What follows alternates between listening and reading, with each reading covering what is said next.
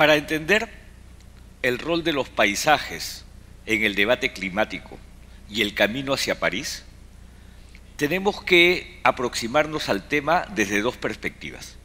Desde la perspectiva histórica, que nos explica la situación actual y el camino hacia París, y desde la búsqueda del balance. Y lo quiero plantear desde esas dos perspectivas. ¿Por qué es que uno debe recurrir a la historia para entender el rol de los paisajes y los bosques y el camino hacia el futuro? Porque tenemos que reconocer que cuando el debate climático se inicia, en conjunto con el debate sobre la diversidad biológica, le dábamos poca importancia y poca relevancia a los bosques en el debate climático y una gran y relevante importancia a los bosques en el debate de la diversidad biológica. Países como el Perú, con una fuerte cobertura boscosa, parecían no interesarnos en los años 90 el convenio que venía discutiéndose y que se convirtió en la Convención de Cambio Climático, y al contrario le dábamos una gran importancia a la Convención sobre Diversidad Biológica y su aproximación desde las especies, los genes y los ecosistemas. Esto quiere decir que los bosques llegaron un poco más tarde a la fiesta del debate climático, llegaron un poco más tarde a entenderse su rol, tuvieron que entrar en un proceso de madurez y en un proceso de entendimiento, no fueron asumidos como relevantes al inicio en el protocolo de Kioto y en el mecanismo de desarrollo limpio. Hubo que esperar las decisiones de Marrakech para que entendamos que las plantaciones tenían un rol, pero que el bosque nativo en su momento no tenía un rol dentro de lo que era el mecanismo de desarrollo limpio. Y hubo que empezar a madurar y reconocer desde el avance de la ciencia que el bosque y los paisajes sí tenían y jugaban un rol no solamente como espacios que podían capturar y retener carbono, sino como espacios que podían mantener cierto valor. Y ese es un elemento de la historia que tenemos que tener en cuenta porque pocas veces entendemos por qué los bosques han tenido un mercado voluntario tan activo, pero sin embargo un mercado formal tan lento y de camino tan lento. Y el problema es que nos encontramos en una situación en donde el mercado voluntario ya se dinamizó, pero por otro lado el mercado no generó los valores y los precios que hubieran llevado a una mayor dinamización del rol de los bosques en su captura de carbono.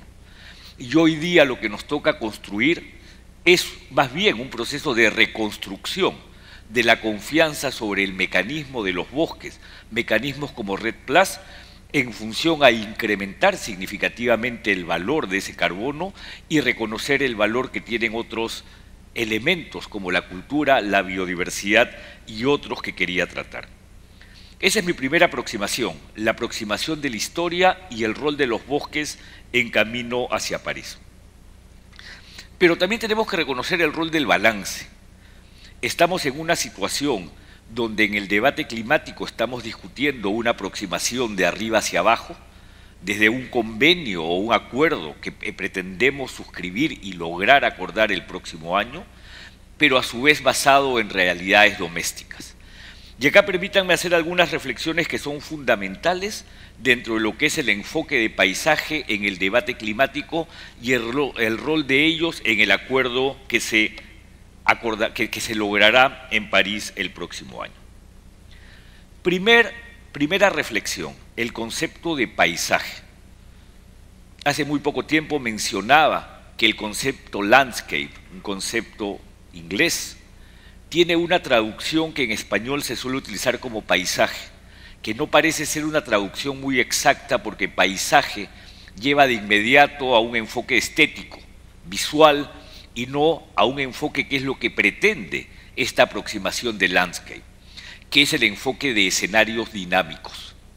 Es decir, el bosque no está aislado de las presiones a las que se ve sometido, de los pobladores que habitan en él, de la infraestructura que ya se desarrolló en el mismo y de la que viene en el futuro. Hay una dinámica social, hay una dinámica económica, hay una dinámica cultural alrededor de estos paisajes y por eso a mí me gusta en español hablar más de escenarios más que de paisaje. Y entonces es fundamental reconocer que en estos escenarios fundamentalmente se garantizan seguridades El paisaje es un espacio de seguridad alimentaria. El paisaje es un espacio de seguridad hídrica, un espacio en muchos países de seguridad energética. Es un espacio de seguridad en salud, como lo ha dicho en su momento el Global Canopy Program en este documento llamado La Amazonía y las Seguridades. Y solamente este enfoque de escenarios dinámicos o paisajes nos permite entender el rol que tiene el bosque en relación a estas seguridades. Pero a su vez es un espacio de relaciones. Y planteo todo esto justamente por aquello que Per mencionaba. Menciona metas que no pueden concentrarse únicamente en la lógica del bosque, sino en la lógica del escenario dinámico, del escenario de las seguridades y del escenario de las relaciones. Hoy día más temprano, con ocasión de este foro, tuve la oportunidad de dialogar con mis amigos y amigas ministros y ministras del ambiente y de agricultura de países de Latinoamérica y veíamos la gran relación que existe entre la agricultura y los bosques y el rol que deben jugar los ministerios del ambiente y los ministerios de agricultura. Y mis reflexiones partían por decir, la agricultura y el cambio de uso del suelo es el gran dinamizador de la deforestación de los bosques. Y el cambio de uso del suelo mal regulado o no regulado no es capaz de sostener o aguantar la presión del crecimiento de la frontera agrícola.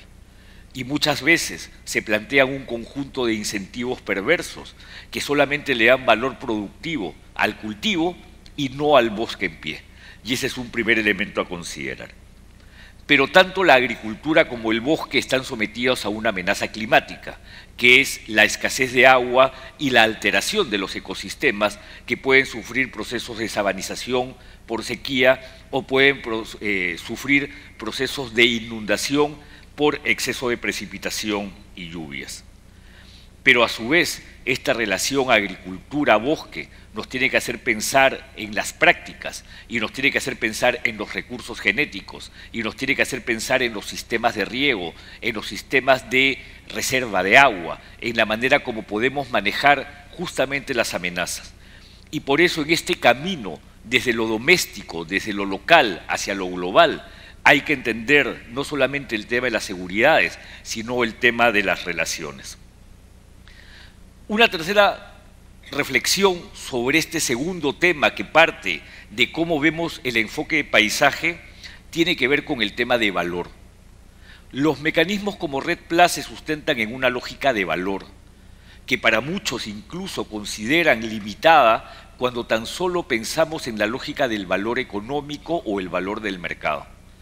cuando todos sabemos que Red Plus es un mecanismo donde a, los valores de mercado y los valores de la economía se deben sumar los valores de la cultura, los valores de los servicios ecosistémicos, los valores que tiene eh, las poblaciones que habitan en estos espacios, un conjunto de otros valores que pueden hacer de este mecanismo un mecanismo real para vencer la pobreza y un mecanismo real para incluir, pero a su vez controlando la deforestación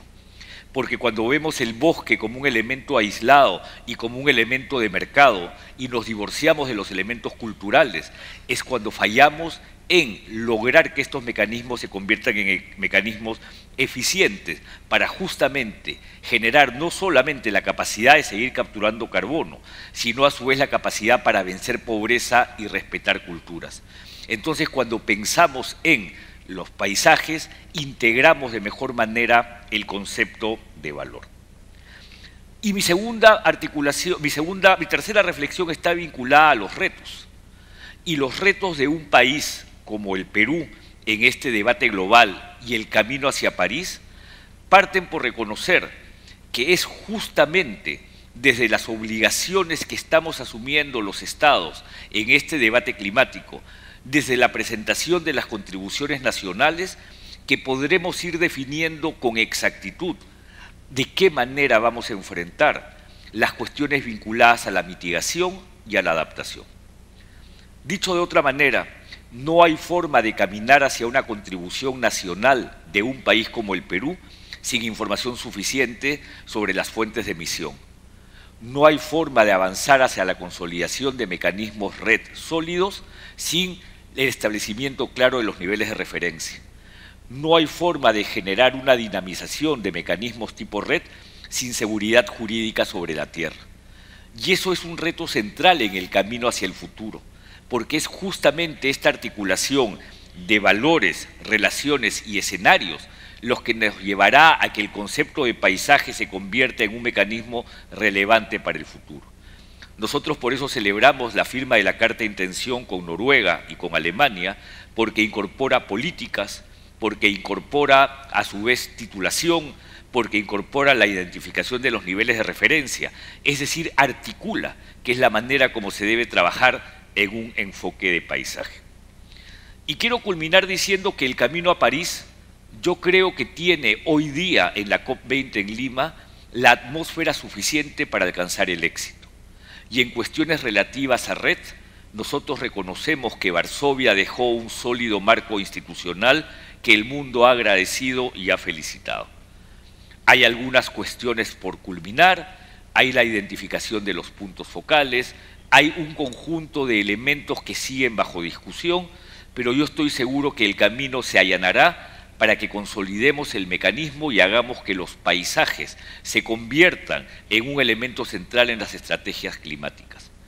El día de mañana lunes, justamente con ocasión del reinicio de las reuniones, vamos a celebrar el Día Red